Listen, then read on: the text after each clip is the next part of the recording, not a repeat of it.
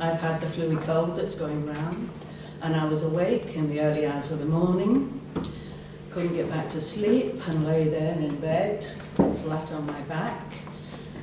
The spring has gone out of my step. The winter is creeping into my toes,